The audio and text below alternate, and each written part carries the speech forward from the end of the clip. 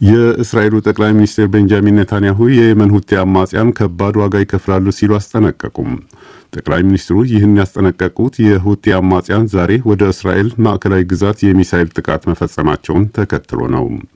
ኔታንያሁ በካቢኔ ስብሰባ ላይ የሁቲ አማጽያን በግዛታችን ላይ የሚሳኤል ጥቃት ፈጽሟል፣ በእኛ ላይ ለሚደርስ ማንኛውም ጉዳት ከባድ ዋጋ የሚያስከፍል እንደሆነ ሊገነዘቡ ይገባል ሲሉ ተደምጠዋል። የየመን ሁቲዎች ዛሬ ከቴል አቪቭ በስተደቡብ ምስራቅ 20 ኪሎ ሜትሮችን ርቃ በምትገኘው ሞዲን ከተማ የሚሳኤል ጥቃት አድርሰዋል።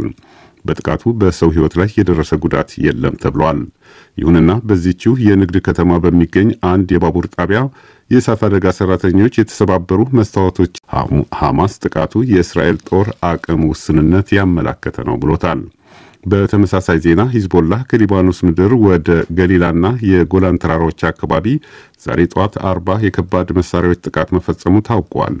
ይህን ተከትሎ በሺዎች የሚቆጠሩ ሲቪሎች ከአካባቢው መፈናቀላቸውን የእስራኤል መከላከያ ሰራዊት አስታውቋል።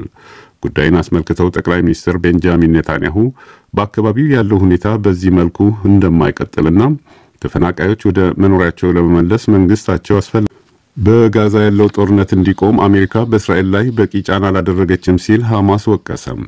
በሌላ ዜና የእስራኤል ጠቅላይ ሚኒስትር ቤንጃሚን ኔታንያሁ በያዝነው ወር መጨረሻ ወደ አሜሪካ ያቀናሉ። የጋዛ ጦርነትን ለማስቆም አሜሪካ በእስራኤል ላይ በቂ አሊያም ተገቢ ጫና አልፈጠረችም ብሏል። በአንጻሩ አሜሪካ እስራኤል ለምትፈጽማቸው ተግባራት ውግንና ታሳያለች አሊያም ሽሽትን ትመርጣለች ሲልም ወቅሷል። በሌላ ዜና የእስራኤል ጠቅላይ ሚኒስትር ቤንጃሚን ኔታንያሁ በጎርጎሮሳውያኑ አቆጣጠር በመጪው መስከረም 24 ቀን ወደ ኒውዮርክ ያቀናሉ ተብሏል። ጠቅላይ ሚኒስትሩ በአራት ቀናት ቆይታቸው በኒውዮርክ በሚካሄደውና የተለያዩ ሀገራት መሪዎች ይገኙበታል በተባለው የተባበሩት መንግስታት ድርጅት ጠቅላላ ጉባኤ ላይ እንደሚሳተፉ ታውቋል። ከሰሜን ፈረንሳይ ወደ እንግሊዝ ለመሻገር ስትቀዝፍ የነበረች ጀልባ ከግዙፍ ቋጥኝ ጋር በመላተሟ ስምንት ስደተኞች መሞታቸውን የፈረንሳይ የድንበር ጥበቃ ፖሊስ አስታወቀም።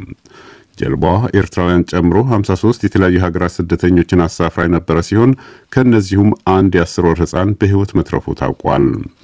ከፈረንሳይ በአነስተኛ ጀልባዎች ወደ እንግሊዝ ለመሻገር የሚደረግ አደገኛ ጉዞ የብዙ አፍሪካውያንና የተለያዩ ሀገራት ስደተኞች ሕይወት ትላንት ማታ ለዛሬ አጥቢያ ከሰሜን ፈረንሳይ ወደ እንግሊዝ ለመሻገር ሲጓዙ የነበሩ ስደተኞች የኤርትራ፣ ሱዳን፣ ግብፅ፣ ሶሪያ፣ አፍጋኒስታንና ኢራን ዜጎች መሆናቸው ታውቋል።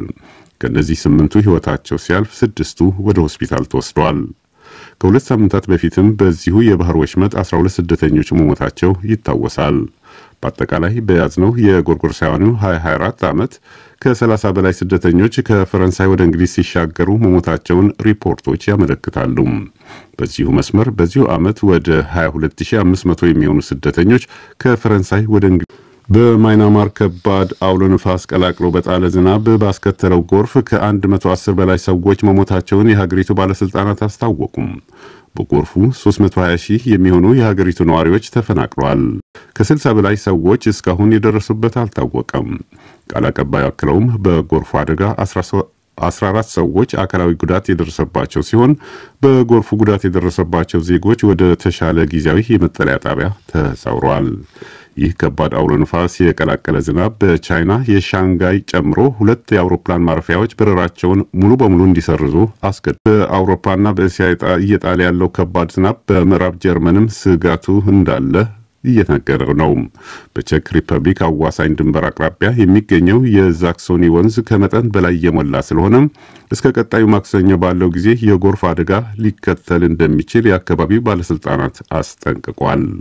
ወንዙ ዓመታዊ አማካይ የጥልቀት መጠኑ ወደ ሁለት ሜትር አካባቢ የነበረ ሲሆን በአሁኑ ሰዓት ወደ ስድስት ሜትር ከፍ ብሏል ነው የተባለ። ኦስትሪያ ዋና ከተማ የሆነችው ቬና ለቀናት በጣለው ዝናብ በውሃ ተጥለቅልቃለች።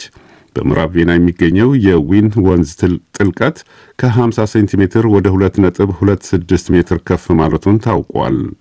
ወንዙ በአንዳንድ አካባቢዎች ከተፈጥሯዊ የፍሰት መንገዱ በመውጣት በከተሞች የሚገኙ መንገዶች፣ የንግድ ተቋማትና የመሬት ውስጥ የመኪና ማቆያዎችን አጥል ሩሲያ በሰሜን ምዕራብ ዩክሬን በምትገኘው የኪየቭ ከተማ በፈጸመችው የተመሪ ሚሳይል ጥቃት ቢያንስ 30 ሲቪል ዩክሬናውያን መሞታቸውን የአካባቢው ባለሥልጣናት አስታወቁም። በጥቃቱ ከቆሰሉት ውስጥ ሦስት ሕፃናት ይገኙበታል። ሩሲያ ዛሬ በኪየቭ ላይ ባደረሰችው ጥቃት የሲቪሎች መኖሪያ ነው የተባለ አንድ ሰማይ ጠቀስ ሕንፃ ላይ ያነጣጠረ እንደሆነ የአካባቢው ገዢ ኦሌህ ኒዮሳም በጥቃቱ በሕንፃው ላይ ከፍተኛ እሳት መቀስቀሱና ሶስት ሕፃናት የሚገኝባቸው ቁጥራቸው በውል ያልታወቀ ሲቪሎች መጎዳታቸውን ገዢው አክሏል። ጀርመን ከአጎራባች ሀገሮች መግቢያዎች ድንበር ላይ የጀመረችው የኬላ ፍተሻ አጠናክራ እንደምትቀጥል አስታወቀች። የጀርመን የሀገር ውስጥ ጉዳይ ሚኒስትር ናንሲ ፌዘር እንዳሉት ይህ የኬላ ቁጥጥር ህገወጥ ስደተኞችን ለመከላከልና ድንበር ተሻጋሪ ወንጀሎችን ለመቀነስ ያለመ ነው። የሀገር ውስጥ ጉዳይ ሚኒስትሯ በሰጡት ጋዜጣዊ መግለጫ የተጀመሩት የኬላ ቁጥጥሮች እንደ የህገወጥ ስደተኞቹ ፍሰትና የድንበር ተሻጋሪ ወንጀሎች ደረጃ እየታየ የሚቀጥል ይሆናል ብለዋል። በዚህ ቁጥጥር ምክንያት በድንበር አካባቢ የሚኖሩ ማህበረሰቦች የንግድና ኢንቨስትመንት በፍተሻው ምክንያት የሚደርስ ተጽዕኖ በተቻለ መጠን ለመቀነስ ጥረት እንደሚደረግም ሚኒስትሯ ጠቅሷል።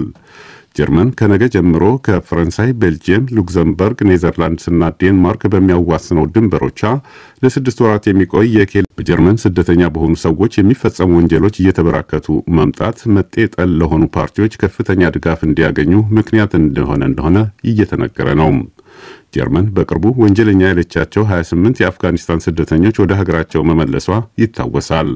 ይሁንና የሰብአዊ መብት ጥሰት በመፈጸም የሚከሰሰው ታሊባን ወደሚያስተዳድራት አፍጋኒስታን ስደተኞችን የማባ በጋዛ ያለው ጦርነት እንዲቆም አሜሪካ በእስራኤል ላይ በቂ ጫና አላደረገችም ሲል ሐማስ ወቀሰም።